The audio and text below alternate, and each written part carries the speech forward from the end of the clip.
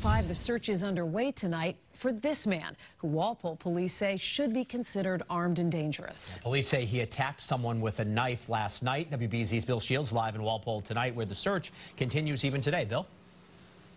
And Dave, that family member who was attacked is indeed someone closely related to this suspect. It all happened at this very well-kept, nice home in a great neighborhood on Common Street here in Walpole. And that suspect is still out there somewhere. It happened at the family home on Common Street in Walpole. According to one investigator, Ian Crowley had been drinking. And when a family member admonished him, they say Crowley went into a rage, grabbing a large carving knife, attacking and slashing his own family member. The act that was committed afterwards uh, is definitely concerning. And then now you have him leaving the house and you have him running into a neighborhood uh, where we didn't find a weapon at the scene, so we think that he still had a, a weapon on him.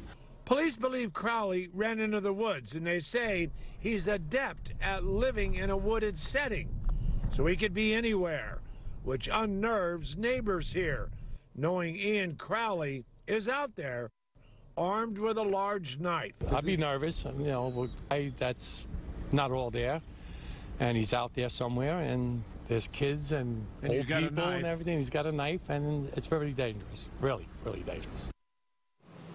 And we spoke with other neighbors around here. They say the same thing. They're very concerned about this because he, Ian Crowley, is known to be somewhat unstable, if you will. And he hasn't been here for a while, came back to live at home for a time. Now this. So people around here are very concerned. Reporting live from Walpole, I'm Bill Shields, WBZ News.